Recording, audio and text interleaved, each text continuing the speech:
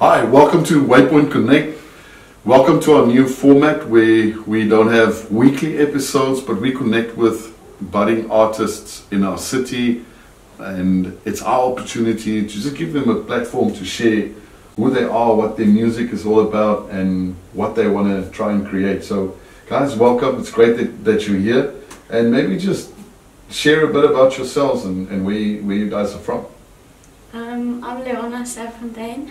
Um, I'm from PE. I'm in grade 10 and I'm from From that other French high school. I'm in Framesby high school, yeah. Great, welcome, Liana. My name is Divan Bester and I'm in grade 11 and I'm also in Framesby High School and also from PE. so you guys have got one song at the moment. Apparently you guys have released it on Spotify. Not yet, unfortunately. We're waiting a bit for more songs to uh, to add to the playlist. And okay, and then you're gonna roll. Yes, we're gonna see if we're maybe going to release an EP mm-hmm. or something that's uh, very cool. We're very excited, but we're working on new music at the moment yeah. also. So. And the song that you currently have is called Rondomtalie. Yes. Right. So in English, that would be. Rondomtalie. that's a very interesting question. It would be I don't know. What is Rondomtalie in English? Merry-go-round. Yeah. Merry-go-round. Yes. Merry-go-round. It's like dancing. Yeah, yeah, it's like dancing. And, and going around. So, what's the song all about?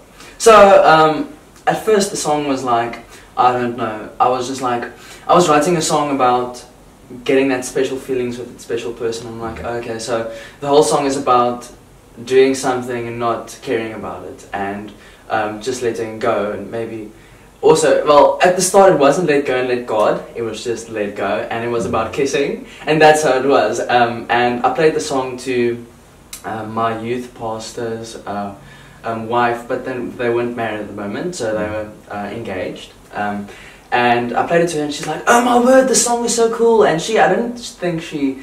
Uh, I knew that it was about kissing, which is like, hey, it's so amazing you should play it at my wedding. I'm like, that's amazing, sure, I'll do it. Um, and we said that we are going to play together.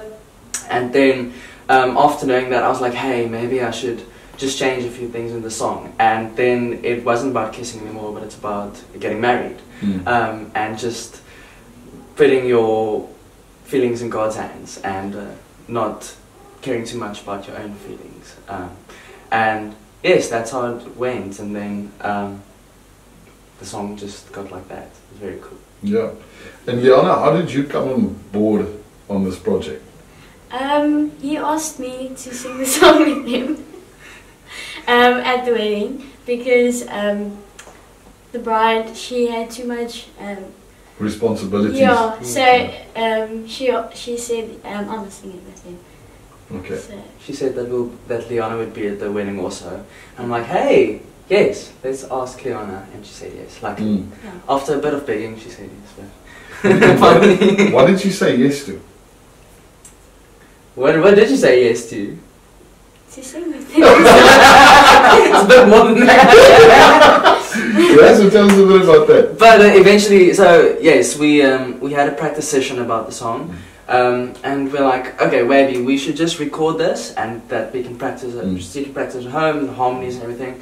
Um, and when we recorded it and we played it to someone else, and um, we played, played to the bride, and she was like, "Whoa, your voices sound amazing together." And my parents was like, "Is that you singing? what?" They they were like totally confused and they were amazed. Um, they said that our voices sound very good together. So like, hey, maybe we should sing together. And we also like that we started getting closer and also um, starting a friendship between the two of us. So. And, and, and that's amazing, and I think a lot of young people miss that because it's easy to base a relationship on physical attraction. Yes. I like that guy, I like that girl. But there needs to be common interest. Yes. Because you want that relationship to develop into friendship. Yes. And there be a strong basis for you guys to connect around. So having a passion for music, interest in music is one of those things that are important and, and are able to, to bring people together. And it's so great that you guys are able to use your talents and and build your relationship on that. But then knowing you guys, we don't build our relationship on things like that. Yes. Right? We, we build it around our mutual passion for God. Mm. That's what we really build it on. Exactly. But in growing that further, so we share common interests. So it's awesome that you guys are, are able to collaborate around your interest and passion that God has given you and grow that a bit further. Very awesome. We're very blessed. And if, if you've got a, a message for young people out there, I know this is like kind of a curveball, I didn't prepare you for this. So I'm going to have him go first. You can think about it. Putting me on the spot. Oh, oh, so if you had a message for young people out there, what would that be? Ah, I think. I think maybe it would be not to to overthink everything. And you always think like okay I need to do this and I need to do that. Um, and being also young the the older generation or our parents everyone they put this pressure on us to do certain things. And we always think that we need to, need to make these important decisions because especially in this time of our lives where um, we need to think about what we're going to do one day and our careers. And I think the most important thing for me for young people would be just to not let that affect you too much all the pressure um, and that you should pray about it. And it I think important decisions in life need to be a decision between you and God um, and you need to follow God's way.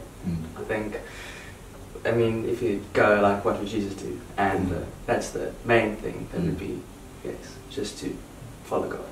Yeah, above everything, Exactly. more than what my parents expect. What what what does God want from me? Yes, Yeah, exactly. Liana, for you? Um, I think um, this whole um, duet thing that we started, and when you started singing together, it really, um, I don't know, I was very like shy and stuff. Well, I'm still shy, Mm. but um, I'm I'm not. I got more comfortable with singing in front of people, so it really helped me. And um, yeah, I don't know, just don't be scared.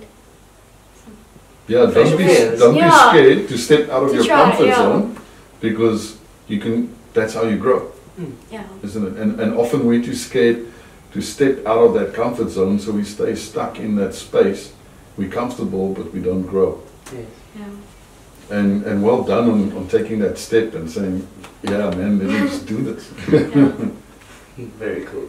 And it's kind of a, a metaphor as well for, for life. Is we're robbing ourselves of what we can achieve, what we can do, and what God can do through us Mm. if we just want to stay in that safe space and like, no, I'm not I'm not ready to do this. Yes. Yeah, so Very great. And thank you for sharing that story with us. Thank you for, for being with us, setting the time aside It's a big to, pleasure. to share it. It's great. Thanks for having us. Thank you. Thank you. Very honored. So that's our new format, and I hope you enjoy this song as much as we did listening to it. And we're looking forward to, to more products coming Yes. from your collaboration and creativity. Very excited to share it, hey? Mm. Right. Remember, have a great week.